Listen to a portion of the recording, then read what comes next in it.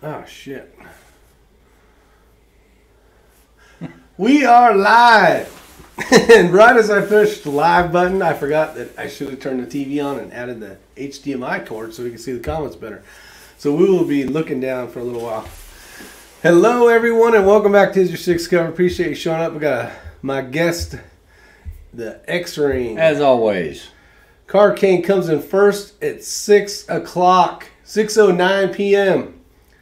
And then you guys are saying, Sig Boy out there saying that I'm I'm texting him and telling him I'm going live. You actually damn line.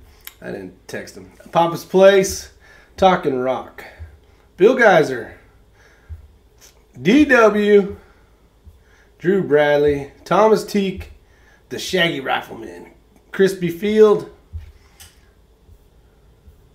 Jerry Parker, Drew Bradley, Steve Headley, Tom Olafson. I bought an Atlas based on X Ring's recommendations. That's a good one, Tom. We're going to talk about it here in a minute. Topic for the night to start off the show is going to be about bipods, but we'll see. It's actually a good show tonight, I think. I think it's going to be good. Very Hopefully you guys informative. enjoy it. Commando 97. I like to say hi to everybody before we get going here. Joaquin Jack Nava, Eric's out there, Andy Amore, Bill Sweeney. I talked to Bill Sweeney on the phone today. And let's see, Brian T. Tank Frank's out there. Ranger 10 millimeter. And Andy Nelson. 45 Auto. I think I said DW. They're just coming in quick. Chris Winsett, Hitting Steel, California. Keith Gregory, V Borg. Matthews out there. And Thomas I. Big Country. 67 Rebel, Spy Sweeper. If I missed you, Abigail's out there. Comment down below. I'm tired of scrolling. I appreciate everybody showing up tonight. We got a we got a special special show for you guys. Um, we are at X Ring's house today, and um, you can see in the background there, or are we? We are actually going to get around this whole YouTube thing with That's- rifles. That's our So rifle. what we did is we did our this is our two x four with a Picatinny with a stud on here. It's like a sling swivel stud, and then an Arca Swiss rail on the bottom. So this way you guys can see it, kind of up close, personal, and see how it works. Because more than likely you're going to be running one of those three type of attachments on your rifle. And Merry Christmas, everybody. It's Absolutely. All right. Before we get started, we got to do our special Bojangles Sweet Tea, sponsored by Bojangles tonight, even though we're really not. And I'm just going to say, because I love these guys, Bore Tech. If you guys aren't familiar with Bore Tech, get over there and check out their cleaning supplies and all the cool stuff they have. All right, let's get crack a lacking. Where do we want to be? We want to be in space? Let's go back to your house. All right. Let's do this one even better. What the hell? Yeah, get that off. All right.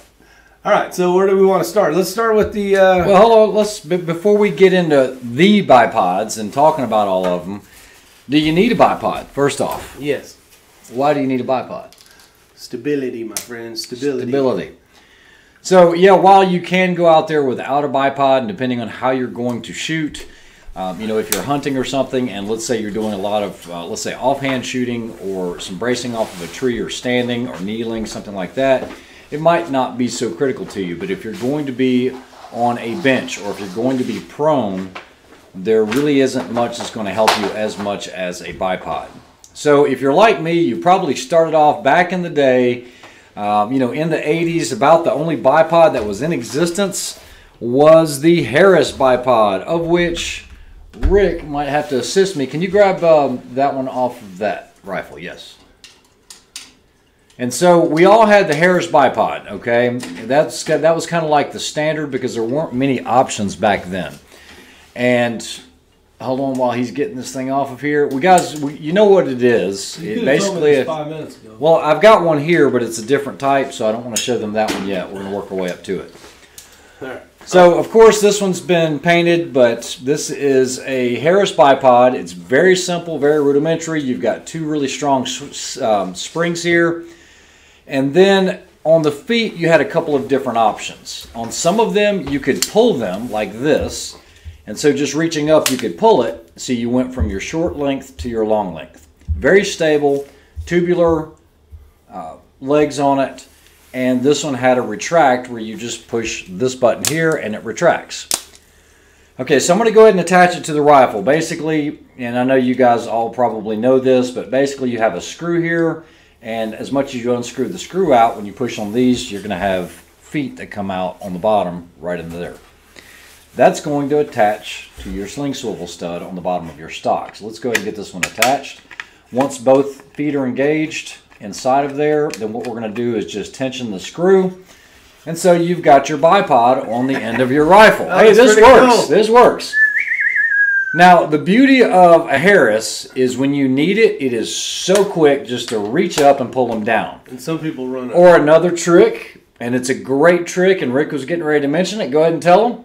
They run some P cord across here, and you just grab this, and they both come down at the same time. Okay, everybody might not know what paracord is, but it's parachute cord or 550 cord and what you can do is just run a little loop between leg to leg, and so you can just reach up once and pull it, and it deploys both simultaneously. It's green, okay? so I don't know if it'll work in the green screen, but that's P cord.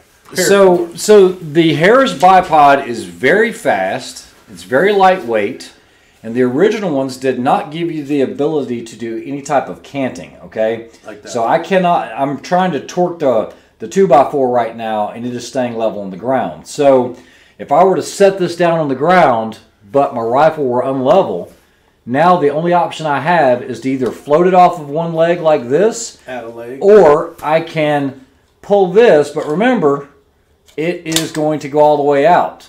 The only way to stop that is to use this tensioner screw.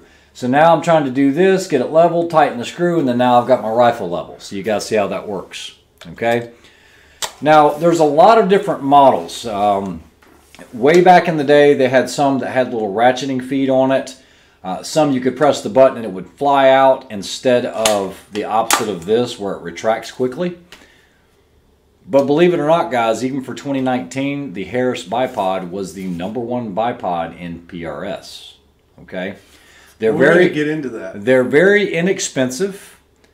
Uh, you can get them for less than hundred dollars, especially in a in a world where bipods can easily go over $1,000. And I'm going to go ahead and apologize to you now. I forgot to grab this guy bipod. Okay, you guys have seen me use it before. I actually shot it at the Hornady PRC. I got pictures of one. Um, you guys also saw when I was shooting the match with uh, Ckye, the actual inventor of the Ckye bipod at the at the uh, Bushnell.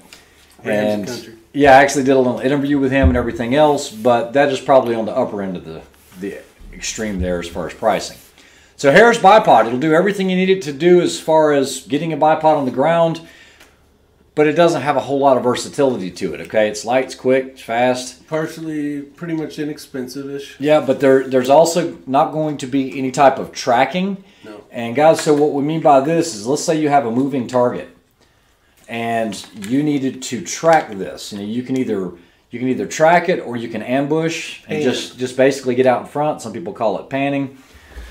But basically, if this is on the ground and I try to move the rifle, these feet are going to start jumping because there's no ability to cant here other than the leg actually folding up on you. Okay. And that will do that. It can't do it. Yep. Ray wants to be a stud so bad he carries one with him. I hear you. Jeez.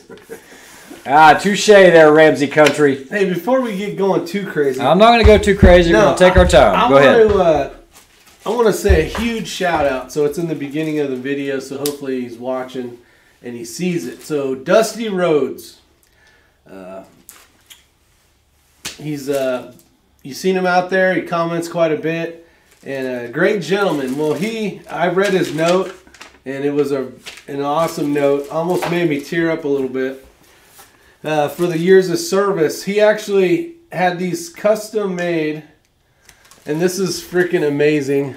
Let me see if I can get these stupid lights to. Uh, mess up the green screen. I am gonna mess up the green screen, but battalion chief, 31 years, and it says "Is your six covered?" at the end of it. I was blown away when I saw this stuff, and then here's a gold shield, which is kind of tough to see, but um, it says battalion chief and is your six covered. That's so freaking badass. So thank you so very much. I uh, I was blown away with your gratitude and I don't even know the words to say, but uh, amazing. Thank you very, very much. Those will be put up here, and I will hang those very proudly. So thank you again. All right, let's get on with the show. But thanks again, Dusty Rhodes. That is that's mind blowing. I guess uh, you had contacted Ray and had it shipped to Ray's house, and uh, he I never said a word. he brings the, he brings the package and he's like, "Here you go," and I'm like, "Man." So thank you, thank you very much. All right, let's get going here. We got uh, we got All right, so let's talk there. about price point because you know a lot of times we skip that. Uh, price point on Harris bipod is going to don't run. want to tell anybody Yeah. how much this shit. Well, on a Harris, it's going to run you somewhere between you know seventy five dollars on Midway up to about one hundred and twenty something, depending on the options. So we're not going to depart from the Harris yet because you know I kind of cut my teeth on the on the bipod on the Harris. It's what I learned on. It's what I used, but things started changing. You didn't start seeing everything with the sling swivel studs on there. You started seeing a lot of ARs and a lot of other rifles with Picatinnies on the bottom Yeah. or a 1913 rail. And so I was able to pick this up a long time ago. Okay, this this bipod right here, this Harris, had an arms mount that was integrated into it, and it was not cheap. I remember when I bought this, I was like, "Holy crud!" It ended up costing. It was a little under two hundred dollars, but it was the first option I ever saw. I mean, this is a really really old setup here. But what it gave me the ability to do, now we're going to go with the 1913 rail standard Picatinny. It gave me the ability to put this arms mount on the Picatinny where I wanted it and just smash the clamp. And now I had it on the rifle. If I had a full length Picatinny, I could move it as I needed. And it wasn't so slow. I mean, I could actually move it to the back, to the front. Let's go and attach it somewhere else. And there it is. Same thing, pulled down the exact same way. That's some awesome. Do you have a lighter um, uh, backdrop? Yeah. You want to leave your house? Yeah, let's leave my house. I want these guys to be able to see the contrast on what I'm showing, Okay. not the audio. Hold up for just a second, guys. What do we want? Probably the brick would work. All right. Back to jail. Is that enough contrast? Yes, you can see it there. Good. Yeah. So what this also added was the ability to now cant. Okay, you guys see I have that cant in there. That allowed me to do that, and this was kind of the forefront of these things because there really weren't any other options for this modification. And the lever. Now on the huge. back side, there's a lever, and you guys are still going to continue to see this uh, in a lot of different bipods. And this lever is what allows you, you can pull on it and see I can move this to get it out of my way. But if I don't move it, I can actually tension it. And so now I can adjust how easily this swings. Now I can just kind of move it with two fingers, but then I can torque it down and it kind of locks it into position. But once again, we have no panning on this or tracking. Okay, it's locked in. Like I said, this was close to two hundred dollars. So this was kind of the next step. That was now, now- cutting edge. Yeah, it was cutting edge. Now watch this. Now when I press the button, okay, it shoots out. Here, do it again. No, it's all right. Come on. But you're going to see these little teeth in here, okay? It's actually a full ring that's around the circumference. And what I could do is on this, I can press it and lock it into these positions. So what this meant was, is now I see, I set the rifle down. We're going to say it's unlevel, and I need to get this arm longer. What I could do is just, it's spring loaded. We're going to pretend the ground is right here. I could press it, and it would spring into the ground, but only to the point that it needed, and it would lock in. So it was very, very fast. Okay, very fast to get in position. I think this is why the Harrises are so simple and so inexpensive. I think that's why they are still number one. However, there's a very close second. And they deploy going from up to down Yeah. quicker than a lot of them. Now I know this is really elementary for a lot of you guys that have been shooting a long time. Elementary deer. But let's go ahead and cover this because I've seen it many, many times. You typically, on a Harris, always want your legs forwards.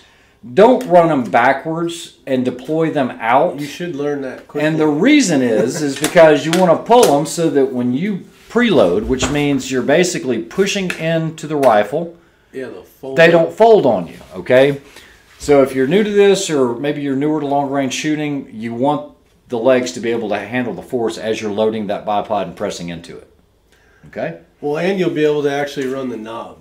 Yeah, exactly. It'll When be on the wrong when you're behind it, you can tighten it up. I actually had to use that bipod one time. Yep, I've loaned it out to a ton of people. Now, let's talk about some newer offerings like from Magpul. Now, I don't have an example of one of those. I know a lot of people use them. Um, I've had a chance to play around with them. There's a little more play in Those the legs than I like. And it is a polymer construction. Mm-hmm. So now what we're going to do is we're going to step it up a notch and talk about the number two bipod in PRS and also one of my personal favorites. But before we do that, we should say the difference between the Magpul and the and the Harris bipod. I would I would run a Harris over. I- personally, I would run a Harris like the one I just long. showed you Yeah. before I would run the Magpul. Now that's just my personal preference. Now there's a lot that will look just like the Harris, like a Caldwell. I'm going to Yeah. highly Oh, urge you to stay that. away from that. We used one of those for a review of a rifle on an American. Was it a Ruger? uh, It was a Ruger American. Yeah, Ruger American, and I complained the entire time. Once you get a good bipod, every time you use something that's not look at my ears, I like my gray Yeah. ears in the back. Um, you can you can tell a huge difference with it flexing, with it not locking up well. True Bradley says, "Oops, that means mine are on backwards." And like I said, it, it, I don't know if you're kidding or not, but I have seen it quite a bit. I've seen you know everything at the range, and uh, I always try to help if I can. I mean, and if you want to run them backwards, that's on you. But uh, typically, you don't want to do that. Okay. Unless you're on like a roof prop, like shooting where you're. I don't know. I'm trying to come up with something. I, I can't think of a reason why you would run it where if you preloaded it would fold on you. Okay, so the number two. well, let's go to this real quick. Yeah, we'll go ahead. We Did you- preloaded some uh, green screens here, so hold on for just a second. I'll try to catch up on some of the uh, comments here. If you guys are ever interested in figuring out what the pros are using, you can go to. I mean, I don't know if this The is Precision Rifle blog. It's a great, great place to get information on everything from pet loads um, to bullets and everything else. So we're looking at. I think this was in 2019, It was. and this was uh, basically it'll tell you the most popular bipods and what the pros are using, and uh, from the top down to the bottom, basically, and you'll see. You just have to look at the shading on the bar. So this blue, you've Yes. got number 51 through 125 that are running the Harris bipod, and that's a large segment. Now each one of these lines that you see here are 10 shooters, okay? So this would be 40 and then you've got 50, 60 like that. Okay. Yeah, you see it? Yeah. Yeah, if you moved, you'd actually see 10 behind your shoulder. Yeah, you'd have to lean over more, but we're not going to have you lean in my lap. There's 40. Yeah. So anyway, so there you see. So you've got Harris up there, and that might just be because they're simple, they're effective, and, And- not too crazy cost word. and you also have to remember we're also talking about PRS guys. PRS has a lot to do with positional shooting, and while there are going to be some stages where you're going to be on your belly, they are not belly matches for the most part. So bipods don't always come into play. However, you do want to be as stable as you can, and of course, one of my favorite bipods is the Atlas. Well, the la- the uh, Snipers Unknown match, there was a rule on pretty much almost ninety percent of stages you can't shoot prone. Correct. So it was you're like, ah, that sucks. Okay, so let's talk about the Atlas. My first experience with the Atlas was the Atlas BT10. And the BT10 is a great bipod. I'm going to try to use this white background if I can. And the difference in quality, when you talk about going from machined aluminum instead of, you know, hollow tubes, I'm going to wait for him to finish it up. There you go. Is huge. You guys can see on the legs here, you've got the knurling, and then you also have the cap that's over there. That is how you're going to be able to engage this. So what you're going to do to extend the legs. So what you'll do is you'll reach up, grab this, and you can grab it anywhere, and you just pull straight down on it. But you could stop at intermediate distances for whatever you need for the distance. The BT10, however, the legs rolled. Okay, so I can take this and free spin it. You guys can see the dirt on the legs there. And so the BT10 had some complaints. I hate this backdrop. I need a white shirt is what I need. So the problem is, as you were loading the bipod, if you put this on a piece of plywood or something, it'll actually walk on you and just roll like this. Basically, it's like a wheel. This will actually start rolling on you as you're loading it, okay? It's a great bipod. You'll also notice that these buttons here, this is how you're going to adjust the cant forwards, rearwards. This is how you're going to basically put it away or put it to the rear. That's entirely up to you. Now, if you have one of these and they're to the rear, that's okay to store them that way because this is not like Yeah, a, it's, not it's not like a Harris that's spring loaded. Once you press the button and lock it into place, it is not going to move. It is locked. It is one of the only bipods that you're going to find that has this mechanism to be able to go a full 180 degree throw. Okay, this is patented by them five spots, right? and it has Yeah. five spots. Now, I reviewed a Warne on my channel. That was actually withdrawn, and Warne can no longer make it because it was too similar to this, too similar to the patent. Um, SOCOM put in a request with Atlas, and I actually spoke with one of the owners of Atlas. He told me this was designed for the military. It's, it's great that civilians can, can get this, and he does market it to civilians, um, but it was really designed for the military military use. But the request from SOCOM was non-rolling legs, and hence the BT-46 Was born. was born. Okay, now this one does not have rolling legs; they won't roll. But there's something else to it as well, and I don't know if That's the camera's going to have the resolution to it. But if you look right here, you see that bump right in there. This bump is ex- exists on the BT46, but you won't see it on the 10. You see that? No bump. And what that is, it's a hard stop, and it was basically to keep it from from breaking or having too much force to lock this up. Okay. This is not a perfect bipod though, and we're going to talk about that here in just a minute. They did do upgrades though. The button. Yep, the what you see on the picture on the green screen Yep. is what this button is right here. The new updated version has a larger button.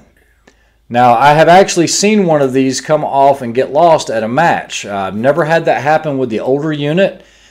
I talked to the folks over at BT and they said they would upgrade all of the bipods that I had to the newer style if I wanted to. There was a slight upcharge for it, but it was about eight or nine Atlas bipods that I've got. So they said they would definitely take care of it.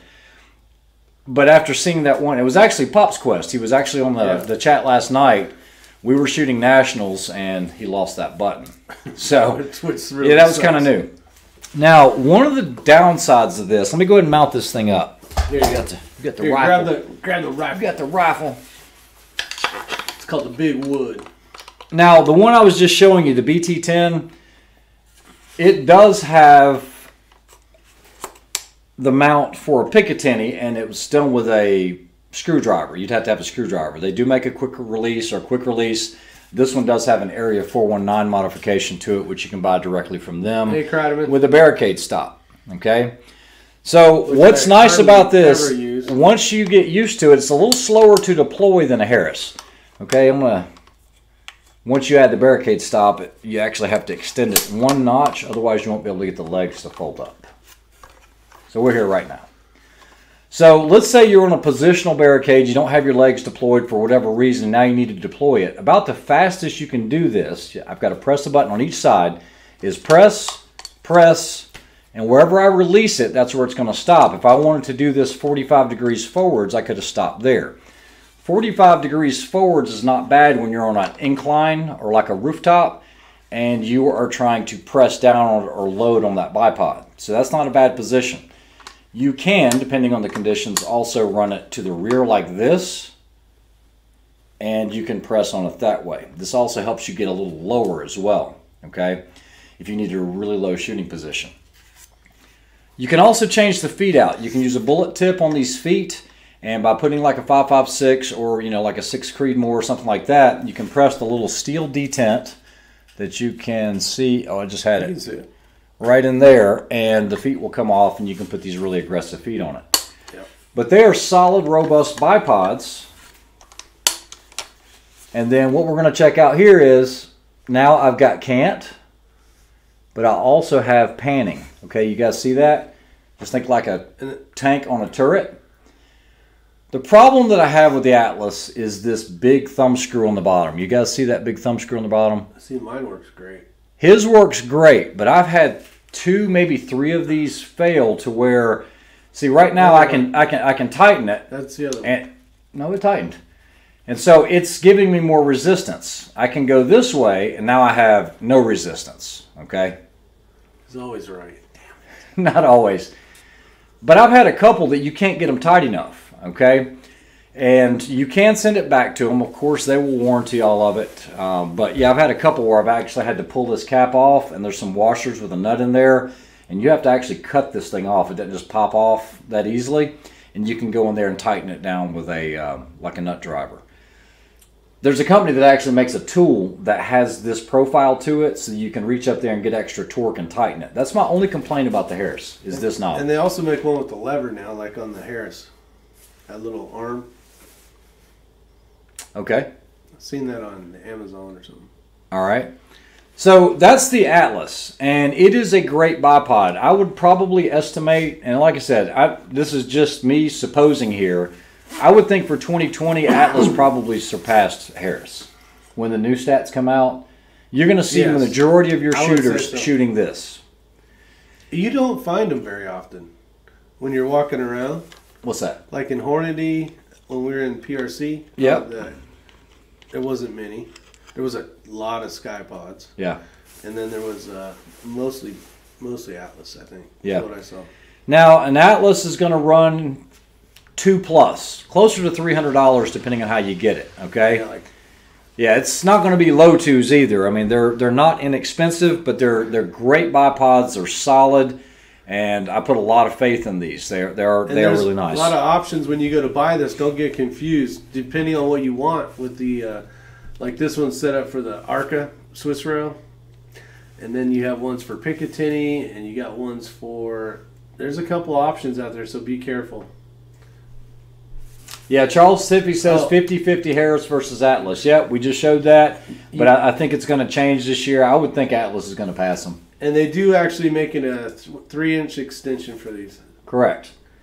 So now that we're talking about the most popular ones, let's talk about some other ones. Now, the Ckye is a great, great bipod, and we're gonna have to show a picture because my dumb butt forgot it. But um, give us just a second to switch this over. It's on. It's just on gotta kill the screen. All right, so there's the CKYE-POD back behind us. Okay. It does have the Picatinny over, or the uh, Arca Swiss over on this corner at the top, at the very top up there. So you can use it on the Arca Swiss rail. You have a bunch of different configurations. You can order it with the really right stuff. Um, Arca Swiss up on the top, that's going to add a little extra money. This is a single pull. They make it in a double pull, but you're looking at starting at $500 before we go away though. Uh, starting at about $500, and then you can go to the double pull, which is going to be about seven to 800 depending on which top you have. And then you have the triple pull, which is going to run you $1,000, $999. What's really nice about this bipod is do you guys see the slot right there? This little slot area. You can adjust that V that you guys are seeing right now, like this. You can adjust it for a really wide stance, or you can bring it into a very narrow stance. That's a huge. That is huge. Okay, it's very huge. especially on big tires. Uh, all sorts of different barricade style stuff or very narrow stuff. You can bring the legs way in. Yep. So there's there's a. If I was to do it all over again, I would get a double. Yep, uh, and they're a good one. I have I have one that I ordered on the twelfth. Uh, actually, I ordered a long time ago, but uh, Ckye actually uh, texted me the other day. We talked, and he shipped it on the twelfth, and here it is, the twenty third, and I still don't have it. It's been caught up in that town called In Transit. I don't know where where it's at. So anyway, Wherever the hell that. so these legs actually go forwards and rearwards as well, or out and down as well, but they won't go rearwards. You guys see these holes right here? So what you have to do We'll to put to it, in the forward position is you see this little silver stud, you pull down on that stud, and it basically takes the pin out and you can move it forwards 45 degrees. You can move it forwards again into the stowage position or stored position. So- you can use the atlas legs or feet on the feet of these right here. It uses the same style pattern. So if you didn't like these and you want to go with an atlas you can on the Ckye bipod i highly recommend it it is very very versatile but it's also one of the most expensive and not everybody can go out and spend seven eight hundred dollars on a bipod unless you're you're allocating that kind of money towards it i mean hell that's more than some rifles cost It, the thing's amazing, and uh, I have had a chance to use one, and the price is phenomenal as far as extraordinarily. Yeah i wouldn't say phenomenal that usually means good No, um, what's the word I'm looking for? Like way over the top. It is over the top. It is uh, the upper echelon of bipods. But the the thing is, it is so quick. Do you have? I didn't bring it. Just uh, that's just my fault. Me, just hand me. Uh, Well, I don't want to show you any of those. Just hand me this. So My not- only complaint about the Ckye bipod is when you get the double, you can actually take your rifle you and the head. go like this, and your legs will go and come out a little bit. So doing any type of shock or anything like that can cause a problem. My other complaint with it is, in order to adjust the tension on the panning and also the cant, you must have an Allen key. Okay.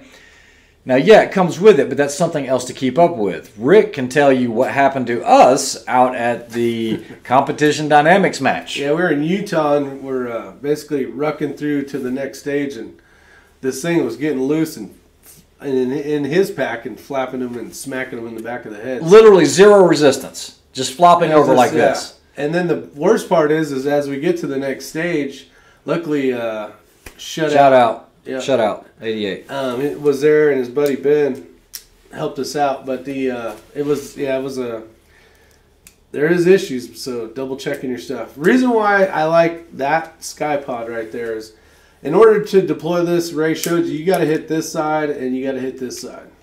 What's what I like about that one is because the the cant the cant is so much you can basically extend one leg down and then cant this over. This doesn't look right on. It has one. 120 But you- degrees so- of cant. So all I got to do is go shing with one with one, and now I'm basically in just can it over, and I'm already at the same height or the you know I'm level again. I don't have to do this, so that's a, a savings of a few seconds, which yeah, it has the biggest range of cant of any It's basically bipod adequate. or this type of stuff that you're going to see. so that's my favorite thing about that, and being able to make them really narrow for like really small stuff, or real wide for like tires and Yeah, now those have been now Ckye actually um, sold that off to MDT.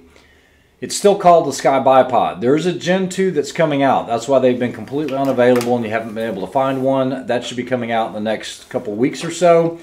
And what they were attempting to do, I don't know if they actually did it. Uh, I saw some prototypes, but they were going to have tensioner knobs so that you wouldn't have to have that Allen key. That way, if you needed to tension it, you could.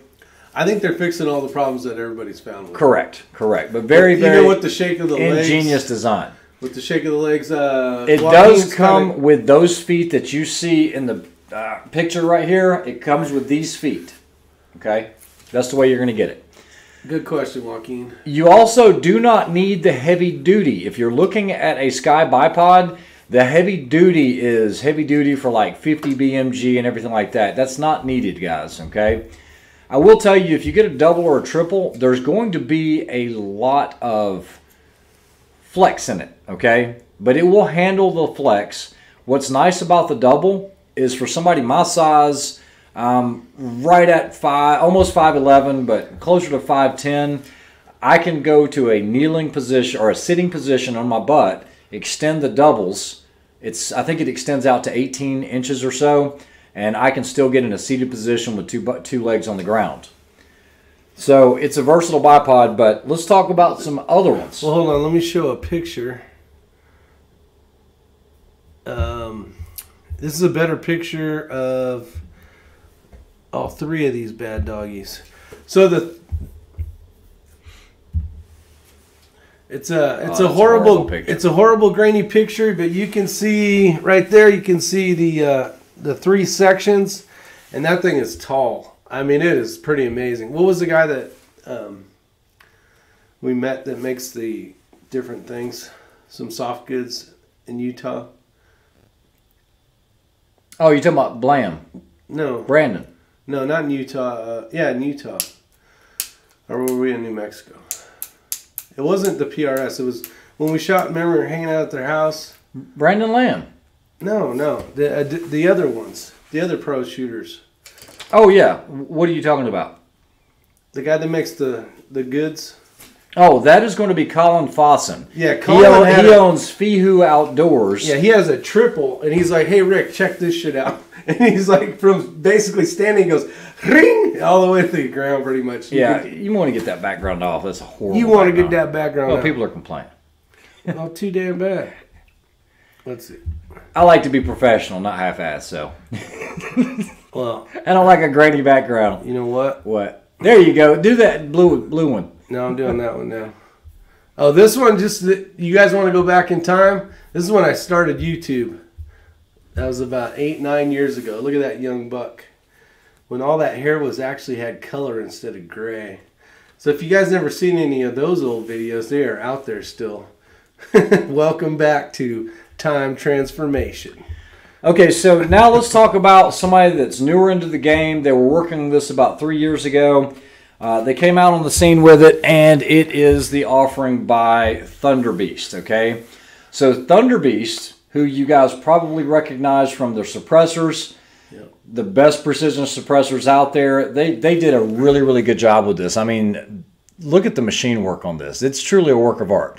You're going to end up paying about $400 for this. We'll talk about some of the features here in just a minute. This one does have a 1913 or Picatinny type attachment. Let's go ahead and attach it and see how it works. All right, so taking note of why the Harris was so popular, because it was so quick, I can just reach up and pull this down. You guys see that? So let's do it again. So now I could actually do this with both if I wanted to. So it was really nice in that regard because it was quick. You'll also see it has the wider stanchion here to give you stability, a little more width on the legs here. Yeah. Now, it won't fold on you. It is locked, okay? So they did a great job with that in being able to make it where it was quick to deploy. Yeah, that actually, that contrast works work well with no green screen. Quick to deploy, but in order to retract it, there's a lever right here. You guys see this lever where my thumb is? If I press that, what the heck? Oh, Now I can put it back up. If I had to give it a complaint, it's going to be this. On the bottom, you guys are going to see a knob here and a knob here. That is the only way you're going to be able to get it into a 45 degree position, okay? So if I want to go to 45, I can't go, I can't see Jack. I can't go from retracted to 45. What I have to do is go down, press the button, then lock at 45. Down, press the button, lock at 45. That's the only way you can do it, and it's one of those, as long as you train or practice with it, you'll be fine. So let me go ahead and put this back into It's kind the- of nice though because you're usually going 90, and when you're going 45, it's a kind of a special thing going on. So Yep. Now this also has cant, okay? And it's a very simple cant system. It has a machined I'm trying to look through the light here. Machined billet bar right here. And it works off the same principle. I can pull back on it and rotate it out of the way. But if I want to tension it, I mean, it- it's probably the smoothest of all of them. You guys see that? I can loosen it up that much. Or if I wanted to, I can tighten this up to where it is locked like nobody's business. So that's what's nice about it is the fit and finish. Now I'm going to talk a little bit about the legs. So now I've got it locked where this thing's not moving. In order to extend this, you press the button. It's an auto extend. And guys, that's very helpful when you set the rifle down. When I shot in the Bushnell, they had us in a position where when I got down, you were in a hole and it was basically like this. As soon as you set the rifle down, it was like this. So if I wanted to extend this leg, all I had to do was press this and at least it gave me some, and then now I could cant the rifle to get it somewhat straight. So that's nice. It also has it where you can micro adjust this up or down, very similar similar to where the Harris had it. There goes our green screen again. Now, as far as the legs, on the ends here, and this is really unique, you've got it's a it's a bar, for lack of a better word. And if I pull this bar down, but it's toolless, I can take the feet off. I want you guys to be able to see this. Do you see how it angles upwards? Well, it goes on that bar. Once it gets there, I rotate and it's locked in. It's not coming off. You want to just kill the green? Oh, there it goes. Now, you can as well get extensions for this. So here's an extension. Here's also some more aggressive feet. Let me hold it at the top where you guys can kind of see that. So if I wanted to make it really long, boom, there it is. Now, once you do this, you're still going to be a little long when you retract. But yeah, there you go. That's with an extended leg, but not completely extended. Extra length. And there you go. So this has a lot of height to it, but you've got to put those legs in beforehand. Well, and some of the issues that we have when we shoot at uh, Virtua Defense in Old Fort, which it's a great shooting range. Get a chance, check that out. But the uh, you're shooting up into a mountain, but you start off flat, so the mountain's like this. So unless you have enough, a lot of times That's not enough. this is not enough. Um, so they do have some uh, like bricks out there that we use, but having that little bit of extension would make it a lot nicer. It does. Yeah, and uh, we also mentioned that Atlas does have extensions, and then Bill Sweeney says Atlas makes extensions for the Harris as well. So now let's talk about another one. Uh, this is the AccuTac. Okay, now a lot of people ask about this. That just came out. I will tell you, this thing is crazy heavy. Okay, of all of them, this is going to be the heaviest. yeah. and uh, it's not inexpensive. You're going to be 300 plus dollars on this. What's nice about it is they they did make it so it's completely user serviceable. Now, can That- you? That's to help with recoil. Yeah. So if you guys see, AccuTac is down there underneath Warne. Okay. Oh shit! Right here. You were saying what helps with recoil? To being able to all that weight. All that front, weight? Yeah. It is. It's probably. It's considerably heavier. I don't have the exact like one weight. and a half, maybe one and three quarters the weight of this. yeah. But And it's it's built, man. Oh, it's built like a tank. And it really you can is. use it as a weapon as well. So this one, I ordered it with the Arca Swiss attachment on it. And so let's talk about Arca Swiss for just a moment. Because if you're getting into PRS or anything like that, you're going to probably want to look for something with an Arca Swiss attachment. Arca Swiss is not new. They've used it in photography for ages. Okay, it was just a way to attach photography equipment, cameras, things like that to the top of a tripod. Well, an Arca Swiss rail gives you the ability to where you're basically looking, and it looks very similar to a mount for a, for a uh, camera system. It's just a really wide dovetail with a specific angle. And what you can do is put it on this rail that will typically run underneath the rifle. But what's nice is if I have a really small barrel or a small platform, they love barrels in PRS. I don't know what the deal is with that. You're shooting through a barrel just so it'll blow your eardrums out, or you're shooting on top of a barrel because you don't have much room. Well, the problem is if this is on a barrel, now I've got no place to really throw my rear bag or put an arm, and it's kind of floating because I'm behind the barrel. With an Arca Swiss, that's horrible, dude. I can't see anything. It's blacked out. Oh, yeah, they were saying it was too bright. They wanted something darker. All right. Trying to make everybody happy around here just ain't working. All right, let's go back to your house. No? Yeah. It's fun, yeah. Okay, so what's really nice about this is if I have a barrel, what I can do is just reach up. You see this gold knob? And I can shorten the footprint of this. This will fit on a five gallon barrel. Okay, now before I digress from this, sometimes they're not legal, but I hate, absolutely hate rear monopods. I, I can't think of any reason why you would need a rear monopod in any type of PRS or shooting competition. Especially when you got something like this. You're actually you're probably going to shoot worse groups with a monopod, or at least that's the case for me. And a lot of guys are like, "Oh, you can just press the button, you can get it perfectly, you know, dialed in. You can screw it up and screw it down. It's perfect." I have an issue with loading it properly when I do that, because now you have three points of contact. You're not really using a rear bag, and you're just twisting this little knob. So, you know, all these little attachments in the rear for a monopod, I'm, I'm going to say you don't need it for PRS or any ruck style matches. It's just extra weight and it's about useless. Solid light colored background is the best. So your old uh, is your six cover is probably gonna be the best for contrast. Yeah, five gallon barrel. That's about right. There is a. f- Oh. yeah, that's about right. No, 55 gallon barrel. How about this one? It's too dark in the bottom. Damn. Th- This is good enough. It's good enough. Good enough. Good enough. I just got to look at myself. That's the worst part. So you guys can see the versatility of having that Arca Swiss. So let's talk about now that you've seen the Arca Swiss. Let's attach this AccuTac. Man, that thing is big. It is huge. It is huge. Huge. Huge. It's huge. Yeah, I'd get rid of that whole monopod in the back and grab some type of rear bag.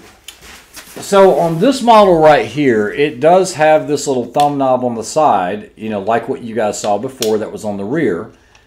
And what you can do is loosen it, and that will enable you to slide this.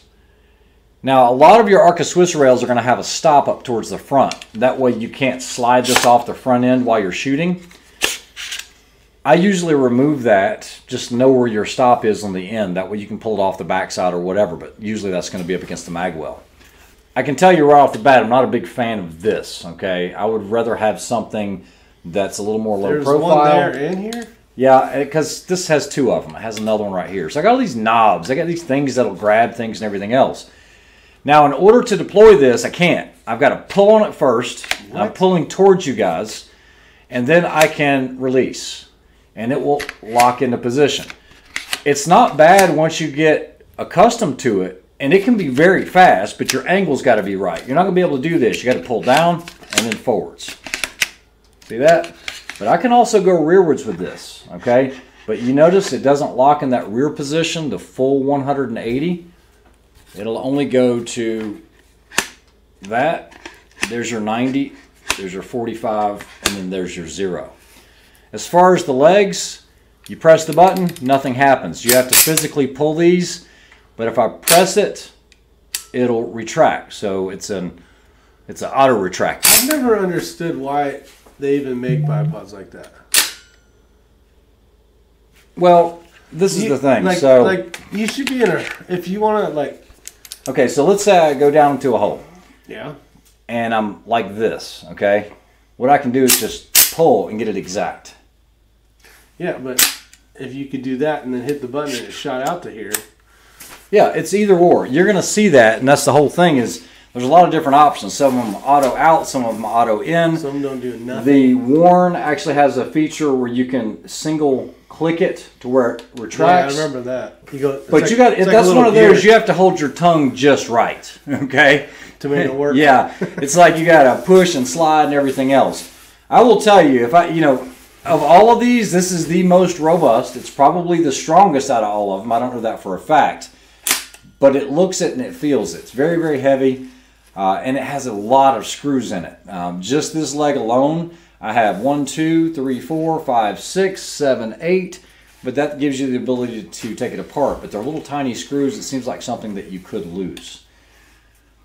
You also don't have any panning on this. You only have cant, okay? And the cant, let's see here. Let me loosen it up just a little. Wow, that cant is very ratchety. You guys, I don't know if you guys can hear this.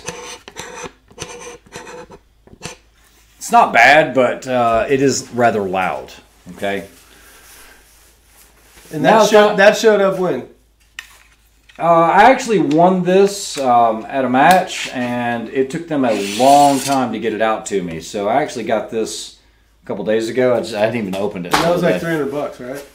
A little over 300, I think. Why, Yeah. why do I get this thing now? Because I think you wanted to talk about this. I'll let you do that. All right. Well, I want to talk about this really first.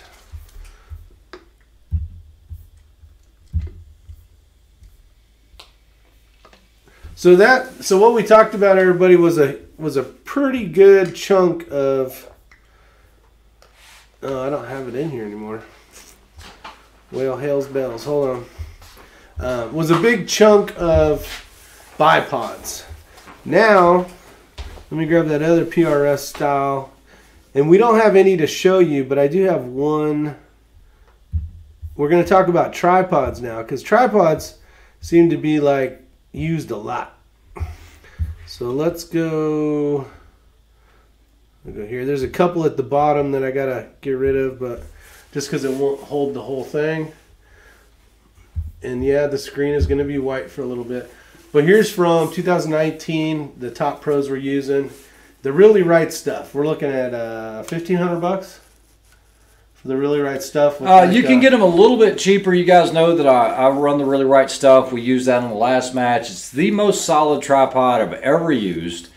And I have a lot of the Manfrottos. I've tried the Leofotos. Um, there's one that's not on here that I know a lot of people like, and that's the Two Vets tripod, which Yeah. looks very similar. Uh, that, I think it's an ODT or OBT or something like that. That looks two- very similar to the really right legs. stuff, Two piece legs. but it only has two extensions. It is long when you're storing it. It's Now, really right stuff sounds like a really odd name if you've never heard that before. It actually started off as a, uh, I think, photography. They did all of that stuff first. Then they started this uh, division called SOAR, S O A R, and they started offering a lot of different products for the shooting industry. So if you go to the Really Right Stuff website, go to SOAR, and you will see all of uh, the shooting accessories that they offer in there. Everything from things on the Accuracy International to you name it um, even binocular mounts. You guys know I run a really right stuff Arca Swiss adapter on the SIG now. Um, but anyway, really right stuff is by far the number one tripod, and you're going to run anywhere from about 1100 ish for the base tripod, and then you've got to get the ball head. The Anvil 30 ball head is the one that I run, I think, by far, hands down. If you looked at what these numbers were, almost everyone is running that same configuration.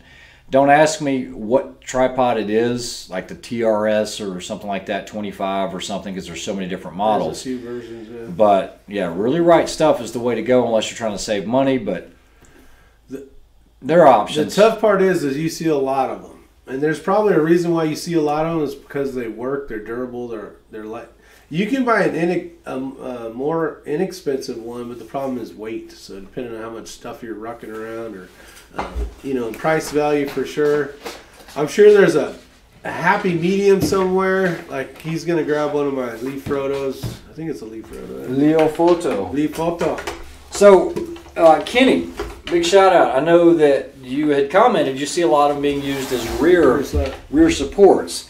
It's not important that you're running a really right stuff on the rear. Okay, as long as you have something to grab, that's all that matters. And they probably don't know what you're talking about. And what we're talking about here, guys, is you might have, let's say, a cattle guard or something that you've got to shoot off of.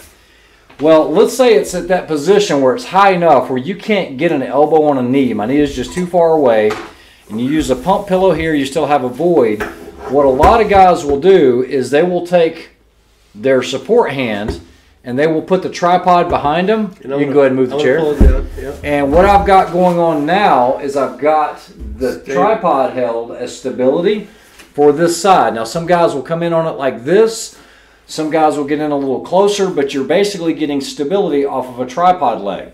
It doesn't matter if that's a really right stuff. You can use the cheapest one you want for a rear, You can use a broomstick. but you want to make sure that your your Works better than your locks here don't collapse on you as you're putting that weight on it.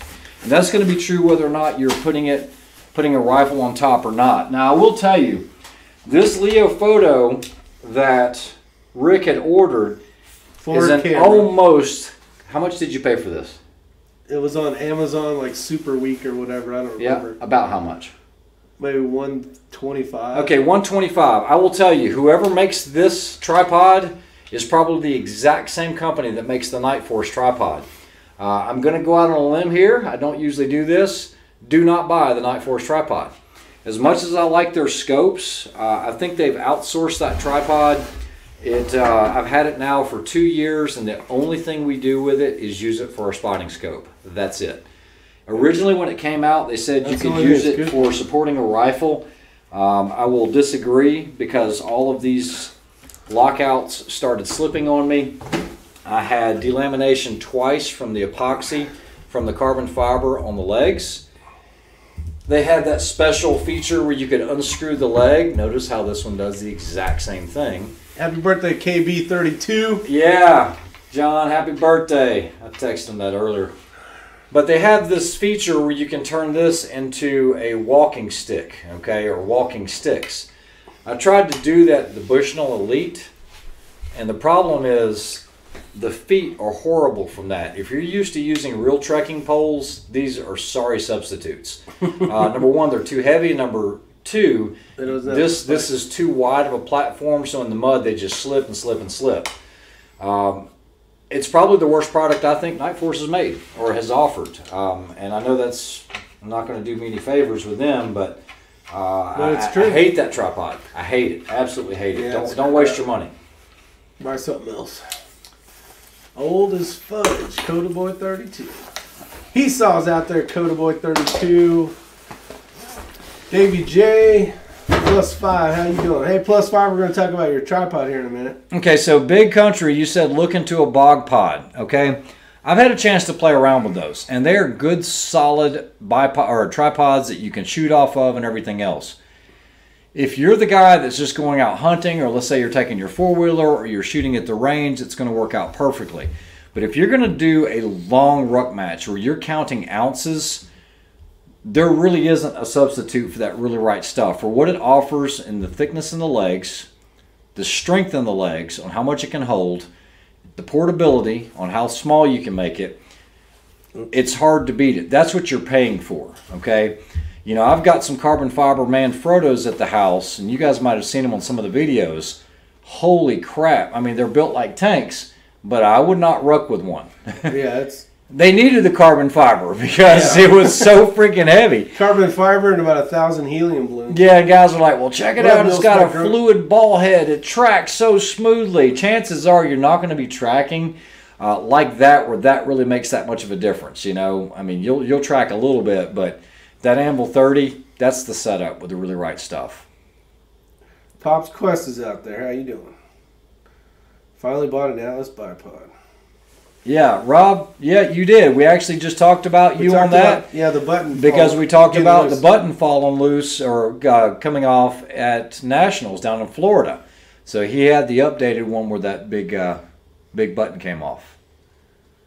Damn, that sucks. I remember that. All right. That's obviously a 90 degree throw, and 2 by 4s are 90 degrees. All right. Oh, yeah, you never answered the question. We were talking last night. I don't know if you missed the comment. Someone asked you if your Vudoo was a 60 or 90 degree throw. 90 degree. I think they were being facetious. Oh. Yeah.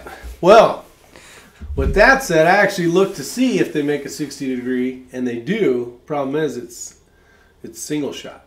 you got to feed each round in, so that's not going to work very well in uh, NRL 22 long rifle competitions if you got to throw each little bullet in there. So And, and guys, I just want to, for those that do follow the channel, I have been following the uh, the Bad MF uh, data holder. Oh my goodness, uh, you guys, you guys killed it for us. All we did today and last night was ship orders. Um, Oh, yeah. So if, like I said, you know, listen to what I'm saying.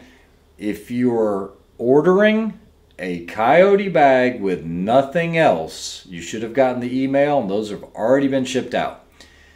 If you got a coyote bag with a kestrel pouch, you haven't been emailed yet because I don't have the kestrel pouches. I don't want to ship twice.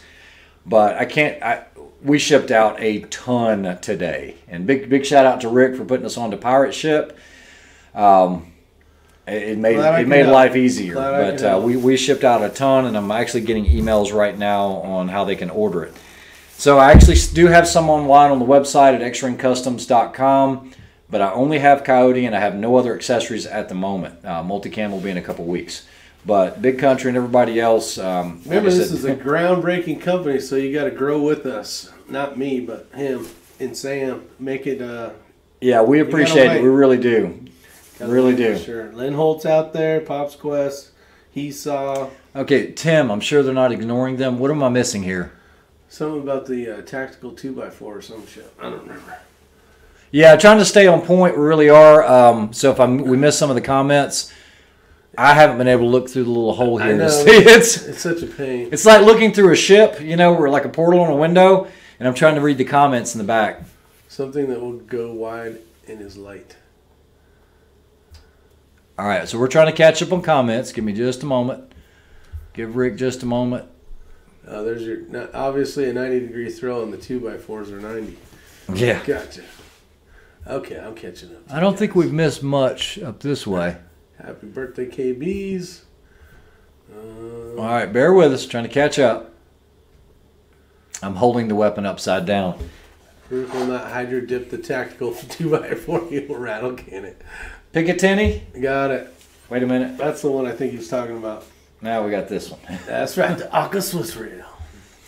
That one, if you guys, We did this just like five minutes before the show started, was just so we could show you different ways of attaching. It's like, Rick, you got to have a two by four around here somewhere. I got one. He's like, what about the screws? And we just ran wood screws in here just to show you guys, just to get around the whole YouTube. Well, thing. some of you guys that are trying to get into this but don't really know how to start when it comes to like PRS style shooting, if you have some type of M lock on the bottom of your handguard, this one here is by Area 419 and it's the uh, 12 inch. And it, you basically can set it up and uh, run it on the bottom of your handguard, and now you can run. You can put it on an M lock, just like on his Tikka. You can put it on an RPR, uh, Yeah. rimfire. It's been on like four or five different rifles. it's just a little section, 12 inch section. It doesn't matter if it extends out the front, but now you can put the Arca Swiss accessories on there from Area 419 or Armageddon Gear or Cole-Tac or any of the other other brands. Yeah, this one is a small bag made by Armageddon. Um, originally bought it for small portholes if you had to uh, shoot through some small portholes. And it seems to work decent in that configuration. I think having a wider base of some sort, if the porthole that you're shooting through will allow it. Like, say, this one. Let's see if I can make it so they're both on here. Let's see if it'll work. Uh, what is uh, Rob shooting in the match? You're you're at the 22x match. He's shooting your rifle. He's shooting my uh, Vudoo. Okay, so there you go, uh, Brian. He's shooting Rick's Vudoo for that. I just got my Vudoo back in. I actually put it in the chassis. Got everything right today. Ordered another spur mount, and I put 10 minutes on the uh, spur, and it's too high. I don't like it. I don't want it sitting up that high. So I think I'm going to send that one back. So here's another option. This was actually given to me. I don't know if he is out here still. I did see. Oh, there he is, right there. Thank you again. We use this all the time, um, and this is more for running bags. This one I just picked up. I'm still trying it out. This is the uh, Wiebad Mini Fortune Cookie. And uh, reason why I, I kind of really went with it, it kind of talked to me and said, you need to buy this, is because it's set up with the same camel I have for my Sandsock gear, so this guy over here doesn't accidentally throw it in his. Which it You'll happens. get it back. I mean, our gear always gets mixed up. And uh, so there's a lot of options being able to run the Arca Swiss rail. One of the big bonuses is being able to really bring that bipod back, like we talked about on the barrels on on Ray's five gallon barrel. Yeah. Um, and that is a huge bonus, being able to get two points of contact or three, if you want to call it that, with the bipod, and then actually having a bag in the back and still being within the barrel. You get a lot better shot shot off that way. Okay, so real quick, this is a great question. Um, and the question reads Why does the BT 46 have to be mounted with the engraving to the rear? It doesn't have to be, but the way that the 46 was designed for SOCOM, borrow my rifle? you, guys are not going to be able to see this up close. But, all right, so do you, you guys see these little, those little inserts I was talking about? I'll have my face in the background on the yellow so you can kind of see it. One is shorter than the other, and that was for loading and for recoil. So the way that it was designed, it was supposed to be shot that way, but you can put it the other way and you'll be fine. But I think that is the reason is because one is slightly higher than the other, and I think that is so that it doesn't break too much to the rear. You see what we're talking about right here? There's the front and rear. Yeah. And so if I get it this way, guys, and I torque this, you'll see what I'm talking about. We have a little bit of cant forwards and rearwards, but there's less to the rear than there is to the front. And on the BT10, wherever that went, the BT10 doesn't have those. You guys can see there are no stops in there for that. It's just solid on top of the ball. All right. And kudos to the companies that when they figure out that something's not working right, they they change it. Yeah. Somebody said I had too many bipods. You you can't have enough bipods. such thing. Because the thing is, is you're going to have a lot of different rifles. Some are going to have Picatinny. Some are going to have um, Arca Swiss. Uh, some of them, like Rick's got the little X-ring tactical that it's got the little sling swivel stud. This? And I can't, yeah, exactly that. I can't tell you how many guys have borrowed bipods from me. So a lot of these were either given to me. You know, I know the guys over at Thunder Beast and Zach Smith did donate that to me. He said, "Hey, run it and you know give a give an honest opinion of it." Uh, the AccuTac I won. I won a lot of these bipods actually. So And we are back at Ray's. I'm not sure if Rick is pointing the muzzle at Ray's head or not. Won't be the first time. no, I'm just kidding.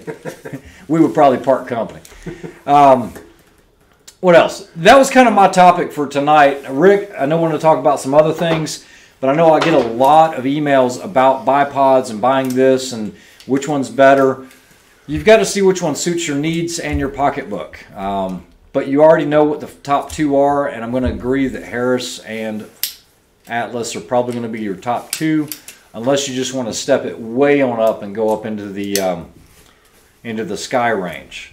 I think the Warne and the AccuTac, all of those are very solid and robust, but a little too much. This this is guys, this is too much. That's okay. that's all. Um, that would be good for like a, a saw or, a, yeah, yeah, or like exactly. a fifty, you know, freaking. I don't need anything this robust, and it's too much weight to be throwing on the front. If you have an AccuTac, and like I said, I- I'm not busting on those guys, you know, because well, hey, this is made in the USA, just like the Thunder Beast is made in the USA. You guys know how we are about USA products, and even the Atlas. All these are made in the USA, but that, that's just a bit much, bit much. I wish we had the KB scale here. Yeah, We could have measured them. we have scales, but they're not going to go that heavy. That heavy. Yeah, yeah, you can't use a powder scale. Um, before we end the chat, when it comes to, uh, man, the screen is looking horrible. yeah, it is. The um, depending on what you're doing, we got some options here as well. This is a tripod made by Death X Squad, and he's actually out there in the chat, I believe. This is uh, it gives you some options. Um, I had a chance to run this on one of the NRL matches, and did did decent with it in the stage. I cleaned that one actually, so that worked out well for me. It depends on what you're doing, how you shoot. I would say one of the biggest things, especially if you're a hunter, this comes with a 12 inch extension. Uh, being able to not lay on your belly all day waiting for something to show up to that you're hunting, and being able to sit basically Indian style and wait for something to show up if you're not gonna stalk prey, but kind of just post up and wait for them to show up. Um, this is a great, great tripod. So, And, and I've never given a review of this, and you know, big shout out to Plus Five because he did send one to me for review. It has its place. I actually take it with me to the range when we go shoot. Uh, whether I'm using it for a spotting scope and I'm laying down or something like that, or if Yeah. I'm in a position like someone said, if you're bench rest, that would be perfect. Yeah, But I, I haven't used it in a PRS style match or a 22 match. I, I haven't. you haven't had time. No, it's not that I haven't had time. I've just chosen not to use it because, and it has its place. I've seen Rick use it on a tire opening Yeah, worked good on tire. where he centered right over the tire. I just stayed on the inside of the tire, went to the far side. Yeah, So it definitely has its place. I think it would be very, very beneficial if you were trying to stay really lightweight as far as your pack. You didn't want anything really long. You didn't have to ruck around the tripod. but you needed something that would give you that extra height that you could shoot while you're sitting.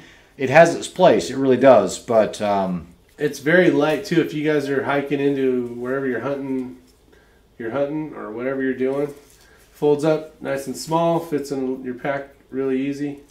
It's got a nice ball head on it as well, yep. and uh, definitely take a look at it. Death X Squad. All right, so since we have 85 people on here, uh, someone asked about the website. So that website is up and running. I've still got to put a lot of pictures in it and everything else, but I wanted to ask you guys this. Um, you know, I'm, I'm trying to bring products out that are either things that I believe in, that I know that work, that I've got a lot of time behind them, like the SOCOM Elite, which, you know, guys have been carrying this for 20 years, right? And Microtechs are made in America, made in USA, here locally, right down the street. Actually, he's got a SOCOM Elite now. He normally carries the LUDT. So one of the things I'm thinking about doing is um, I was actually set up as a Microtech dealer years and years ago, but I've just never sold anything. Oh, This is going to be cool. This is actually good stuff. news. Um, You guys, I- I'm not going to be I'm not going to be one of those dealers that is going to sell all the different Microtechs. Okay, while I love the out the fronts and they have their place, I believe for hard use and everyday carry, working man's tool. true, a working man's tool, there's no replacement for an auto like the SOCOM Elite or the LUDT. You actually have an LUDT. Uh, I gave I you one two or three years, years ago, and he just, Just- now I just he graduated up to the SOCOM. No.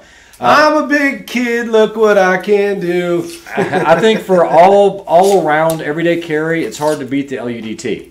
But if you're one of those that likes a little larger knife, I think the SOCOM Elite fits that bill. So where I'm going with all of this, Pay attention, ladies and gentlemen. I think I'm going to offer um, SOCOM Elite autos with partial serrated blades, What? no plain edge, partial serrated only, Yeah, because that's just and so LUDTs. it's gonna look like that. Partial serrated only. Yeah, I mean partial serrated. There's not. Yours is old. Yeah, you guys might say, well, you know, you can't sharpen it. You don't need to sharpen it. Okay, you don't need to sharpen the serrations. That's 20 years. It still cuts like a, like butter. Yeah, you actually will still always have something that will cut something. And what I will do is I'm not going to do an exclusive color like IB8088 and uh, No. or any of the other ones. I'm just going to offer it in black, partial serrated, and it'll have the X-Ring logo on the right side of the blade. Just wanted to hear what you guys thought, or should I just stay away from that? I- I'm not. An, I'm not a knife seller, but it might be something because I use it. I think it's good, you know, just to offer on the website. Heck, I would buy one. So I'll just look and see what's on the comments. It says, Do not like a serrated at all. Yep, can't help you there. Can't help. can't help you there, KB32. No, I never got the Merlot colored knife, Bad Billy. They are unobtainium. Yeah, so you know this is a great topic because I hear a lot of guys like KB32, and he's a great, great friend. But why do some people hate serrations? Is it because they can't sharpen their own knife? I, I think every knife should have serrations. There's no point in not. Yeah, I want to actually hear the reasons because I'm a big rope guy. I hear to- this a lot. Used to do a lot of wrestling. And you will never cut a rope or tethers or anything like that as fast as you can do it with serrated, a partial serrated blade. That's never going to happen. So you got the best of both worlds. Yep.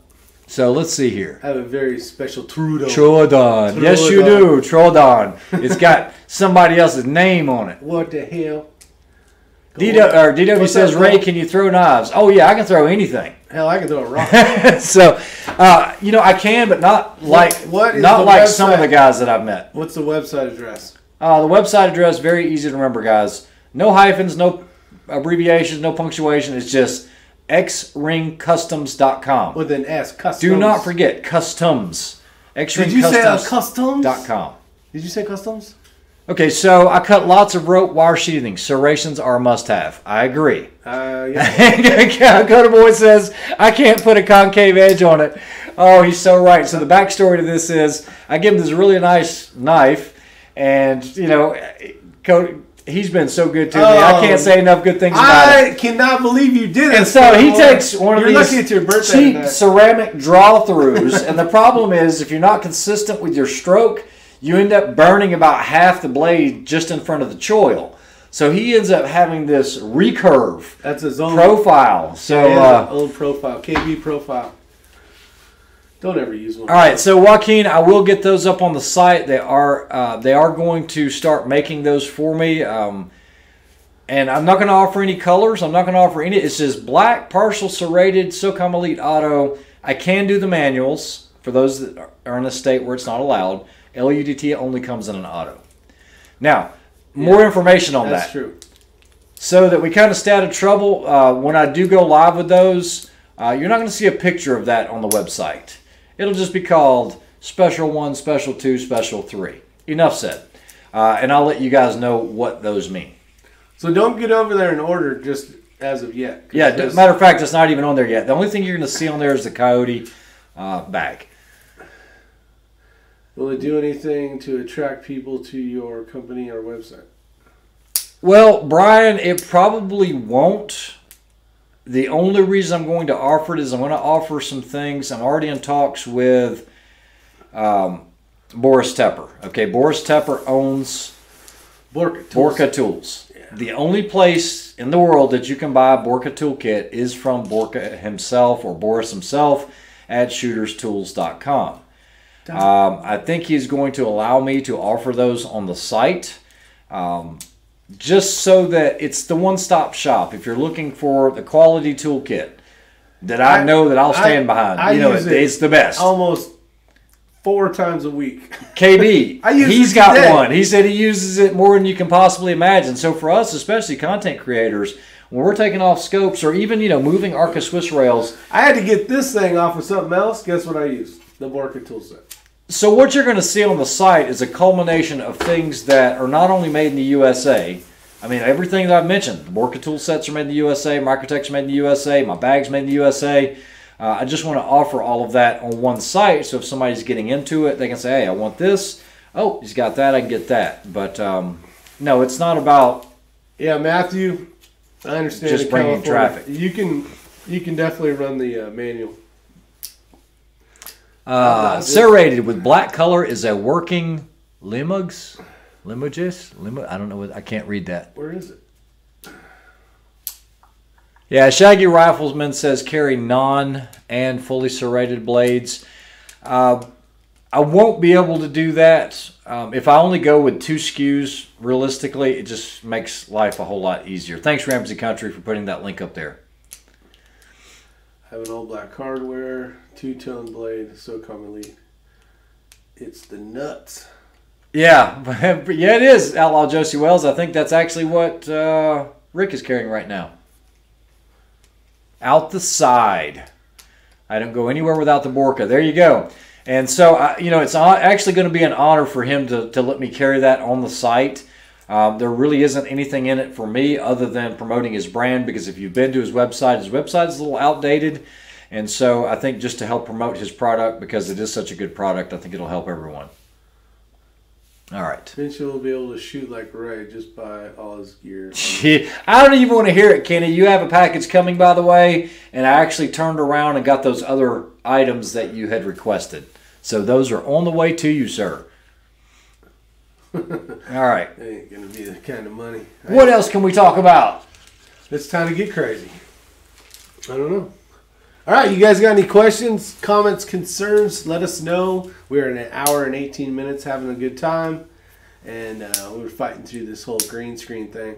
And Brian, I did not take the comment that way at all. Uh, I, I know exactly. I mean, that's your that's your wheelhouse, and I am just learning this wheelhouse. I've never had anything that was e-commerce like this, and we're relying on a uh, developer to do all of this for us. He's he's done a good job with it so far, but he's just his time frame is just not kind of coordinating with ours. A lot of other things need to be added. I'll go ahead and tell you guys. You're going to be able to find the Staedtler pins on there, the ones that are the permanent that everyone seems to borrow from me that I never get back. I'll offer the data. looking at me. Stole my pen. I'll offer the data cards on there.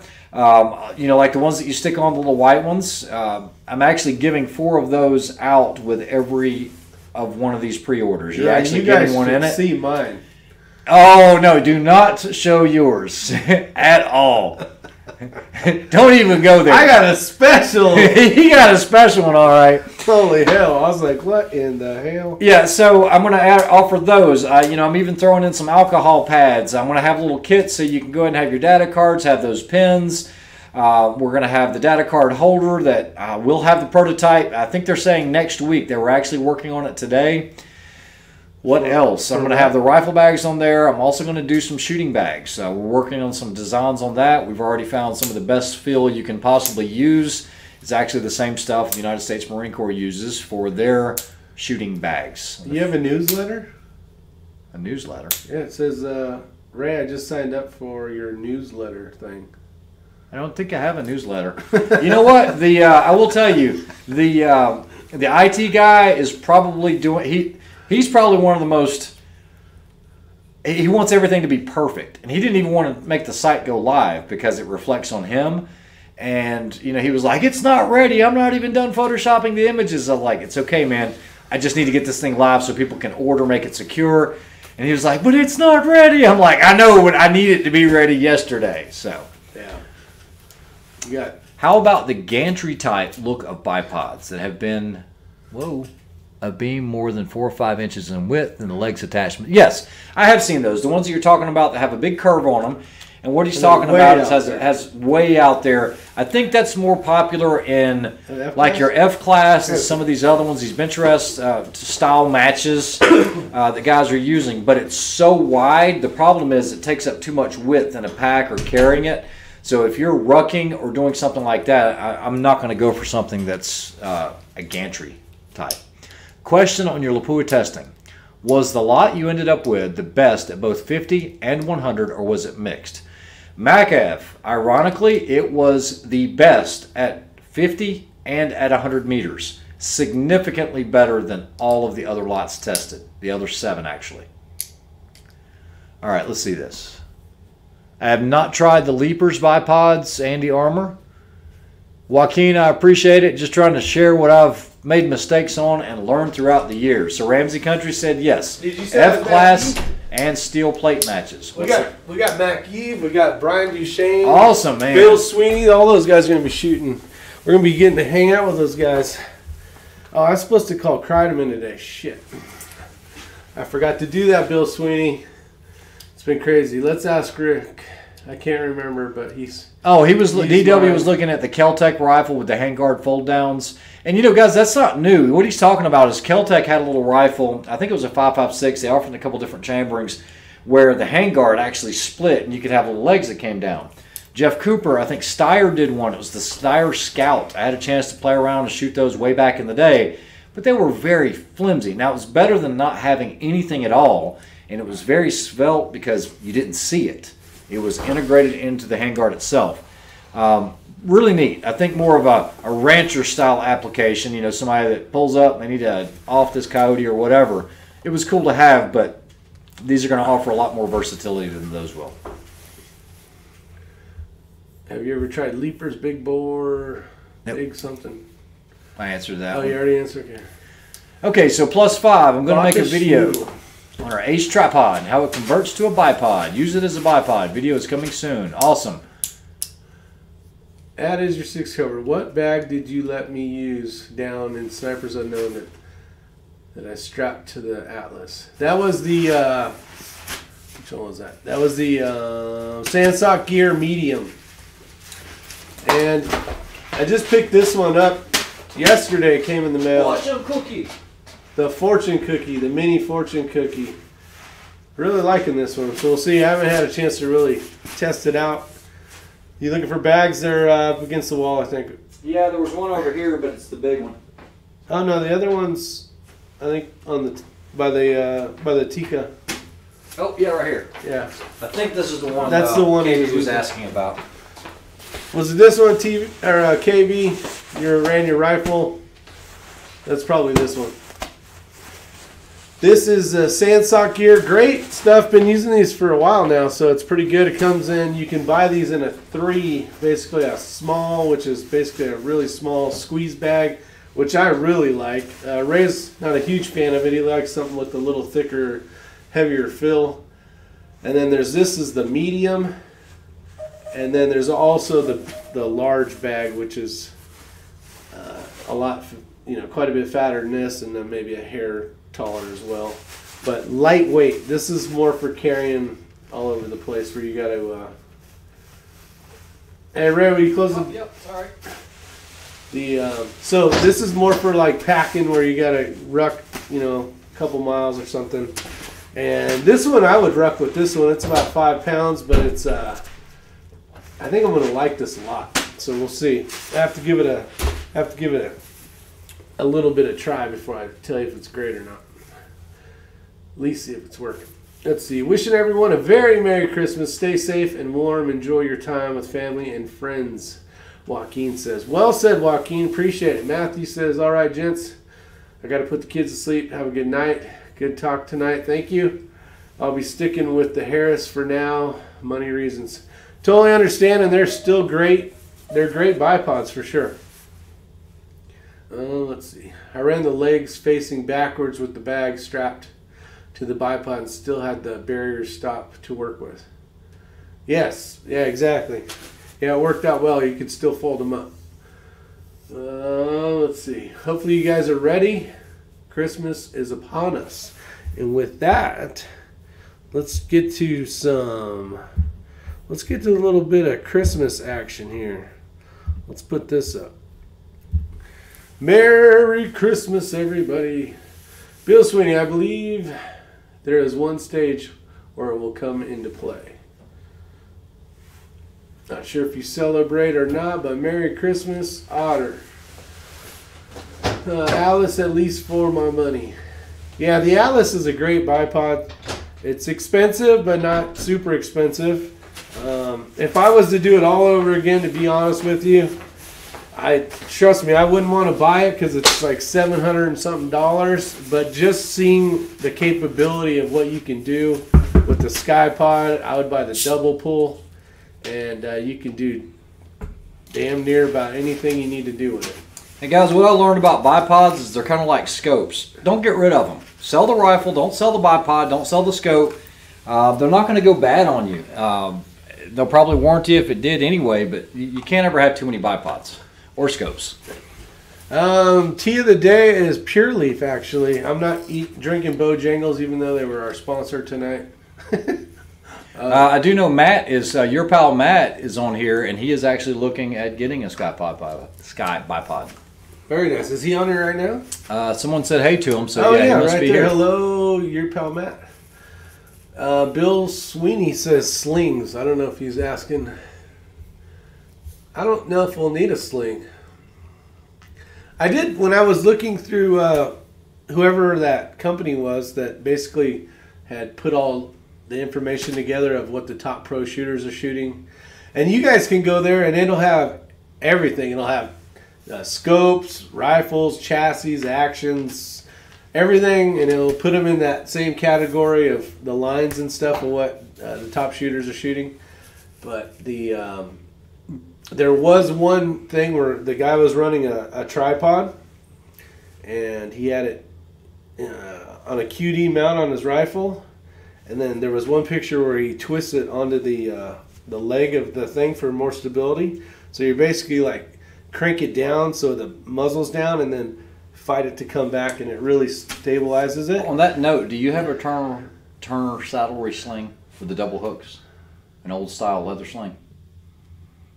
No, Okay. no, I don't. I, I do want to touch on this once. And then um, also, there's another way to use a sling with the tripod, but you need a carabiner to attach to your waist. So it, it runs from the same QD on the left side of your rifle, runs underneath the tripod, you know, right at the top, and then attaches to your, your hips, you know, your, your belt line.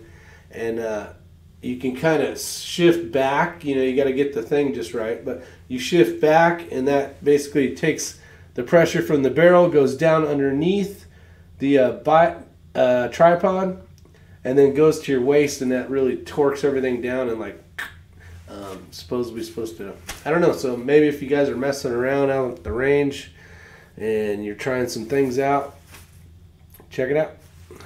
Okay, so there is one stage on there on this NRL 22X match that we're shooting, and I don't think there's any provision against not using a sling. There is no substitute for a sling if you're shooting in like a sitting position, modified sitting position, mm. or even prone without a bipod. So any of you guys that have done like NRA high power rifle shooting, you know what I'm talking about. Okay, there is a way to run slings so that it gets that tension on there, and you get what we call locked in to position, and it is the most stable way you're going to shoot from those style positions.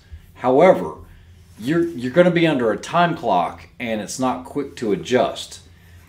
So on that one stage, you have to use one of four positions three times. So you have to use unsupported, you have to use sitting, kneeling, and prone, but use three of the four from three different uh, at three different uh, sequences of targets, if you will. So I don't think I'm going to attempt to even uh try to use a sling because the lengths are going to be different. If you shoot prone, you're going to have a bipod. If you shoot sitting, that's going to be a different length than kneeling the way you extend. So yeah, it would be a benefit, but because you're under the clock with 120 seconds, I think you're just going to have too much mess in your way. Yeah, that one's going to be a tough stage. You know, and you see a lot of guys, and I don't know if this is something that your grandfather taught you or you played around with or saw on TV, and everybody takes and they wrap their arm around it, and they. It's the same type principle, okay? But there's a better way. If you go above the bicep and cuff right here in this area, um, what that will do is that will lock it in, but it's critical to have this distance set. So in the old Turner saddlery slings, the ones that have the double hooks, Yeah. you would actually mark and indicate what your position was, and you would put your distance on there, whether you're shooting at 200 yards and you were shooting uh, sitting, or if you were shooting prone, you'd have your 300 yard mark. But that takes setup time. And That's the only thing. Yeah, that'll eat the clock. Yeah, there's not much uh, clock time on these matches. So, uh, 45 Auto's got a question. Which of the Harris bipod models? Oh, you know, that's like asking. Um, There's a bazillion of them. yeah, in all of the different manufacturers, even on the Accutac, there's probably 10 different models. Just like Otter commented a moment ago about the Atlas.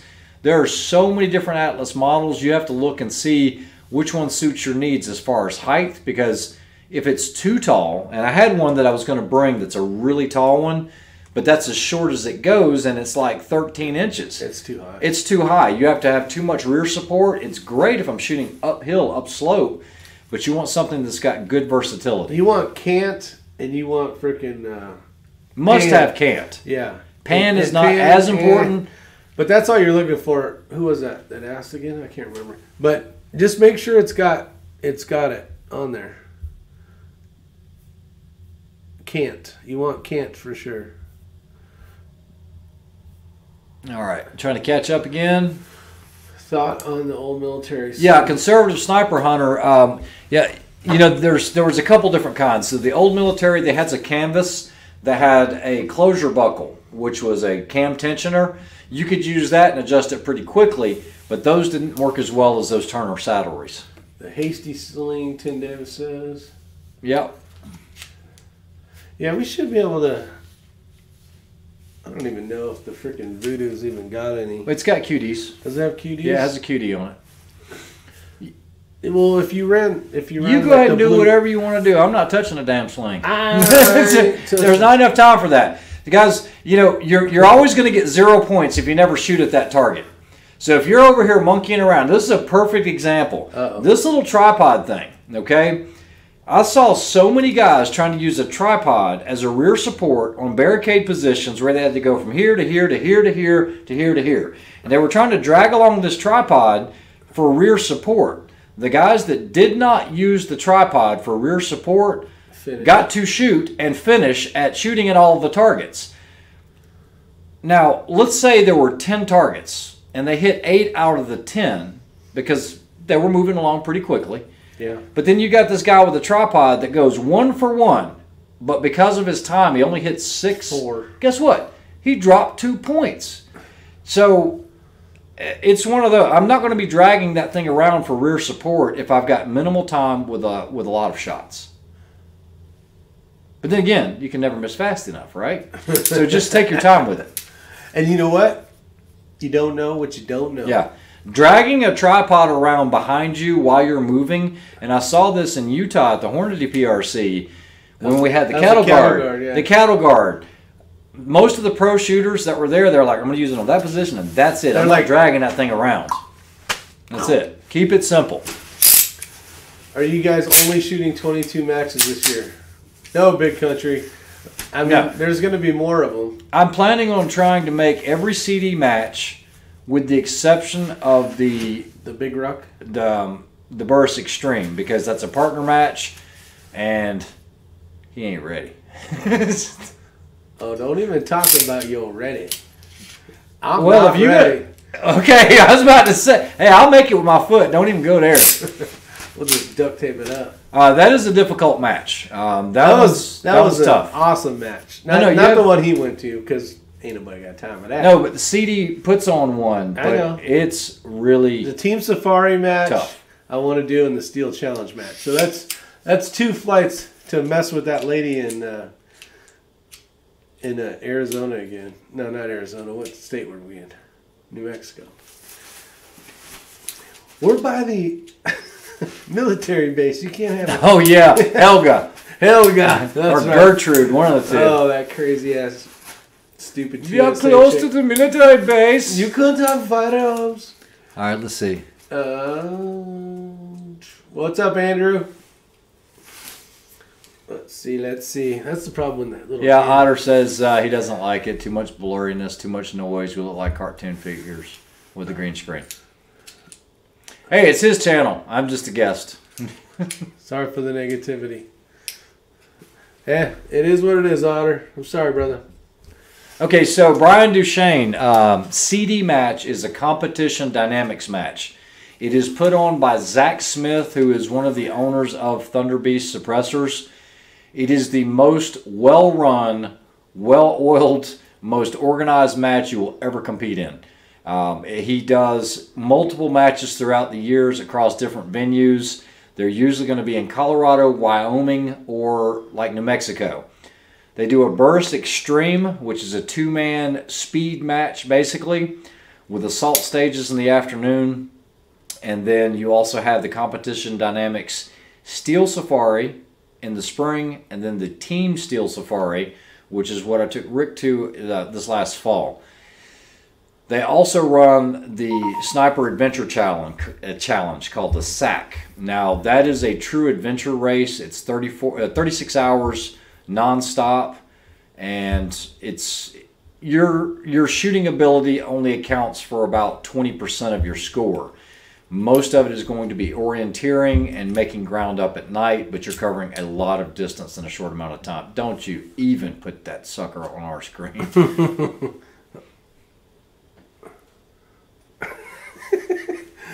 You should see what it says. It says funny bunches of oats. Votes. oh,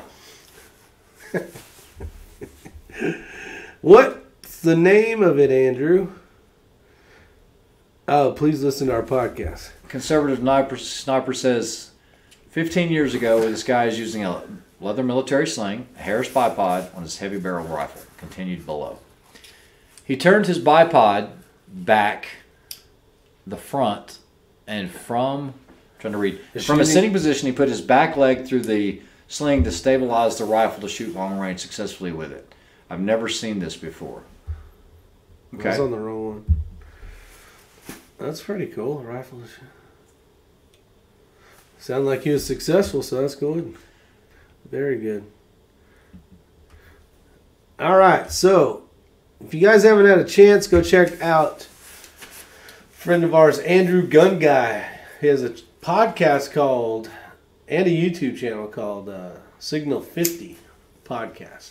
So when you guys are driving around, going Christmas shopping tomorrow when you're supposed to be already done, um, check out his podcast. Yeah, plus five has a good point. You know, uh, his his experiences are going to be different than competition style shooting. Um, he prefers to shoot off of a pack. Personally, I like shooting off of a pack as well, but I'm not going to choose a pack over precision targets at long range. No, and Otter, I totally understand what you're saying. I'm just we're gonna roll with it for this one. We're, we're working on getting the studio up and running better, so it's a growing pain thing. But I do appreciate the uh, helpful hints. Uh, if you find that article, I'll send you X-ray. Let's see. I, okay, yeah, I'd like to see the article, but I think I know what you're talking about because I've seen a modified position where the guy is sitting back like this and he's got the rifle torqued straight where the sling is going through because we, we work on some really odd positions sometimes.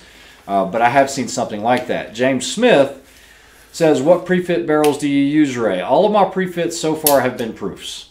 Uh, that's all I can speak about. Um, I know I just got my proof prefit uh, six dasher barrel in for my AI.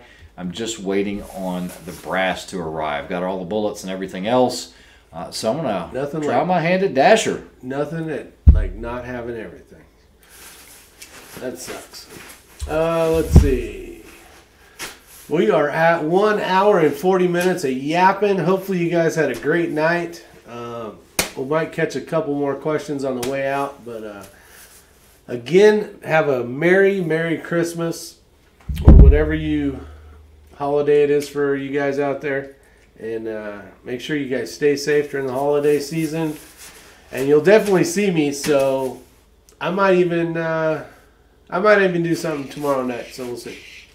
Have some. Yeah, the weather's gonna be nasty here. It's supposed It's to gonna- start raining in a bit Uh, all night long, and then uh, Friday I think the high is 27 or 28. yeah, there'll be live chatting going on. So if you guys are stuck in a house and got nothing better to do, we'll probably do some, or I'll do some uh, live videos of some sort. We'll see what kind of content we come up with and have some fun. And John Kreiderman, I need to call you um, after this chat.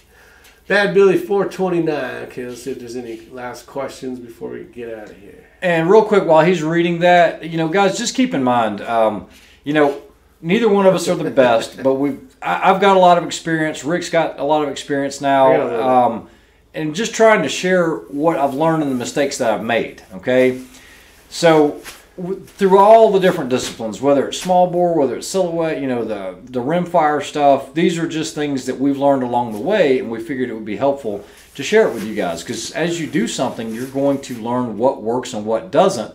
And it'll save you some money in the and, and by us sharing with people that have experience in that same field, like your Ramsey countries and and uh, Mr. Did Charles, uh, there was something I was Charles supposed to send you. Charles, did you end up getting that shirt? You should have already received it by now. I sent it out a couple weeks ago, or a week or so ago, week and a half ago. But by sharing it with people that have the same interests, it'll keep people that are trying to get into it from making the mistakes that we either made or we heard from others that we don't want to make. Oh, Andy's from Australia as well. I forgot. Um, yeah, and that's the big thing. So, like, I'd been shooting since I was a, a very, very young kid, and then uh, got into precision just a few years ago. But the things that I had wasted my money on were like cheap scopes. Like, I had a bunch of cheap scopes, and yes, you did. you know, and I made a video. I don't remember how long ago now, but like, like here, here's a way to save money by not buying a bunch of shitty cheap scopes that that break. And when I mean crappy scopes, I'm talking really crappy scopes, guys. Yeah, when he first showed up, I mean, if you guys have heard the story. You know, Great he shows up with a great rifle and it's got a sixty dollar scope on it. I'm like, what are you doing, man? I said that thing doesn't even track. You can't even get it to get the, you know, Yeah, it won't the elevation zero. wouldn't go to zero. And look at him now. It's only like a couple years later, and he's got Vortex Razor HDs coming out of his. Wall. No, he coming out of his wall. I was trying to think. There was a there was a commercial, and, and don't turn this around on me. It was actually a commercial that was publicized. He's got money coming out the wazoo. You remember that? Anyway, you don't remember that. You have to, if you haven't seen it, you need to check it out. Money coming out the wazoo. What- it is what? funny. it is funny. What?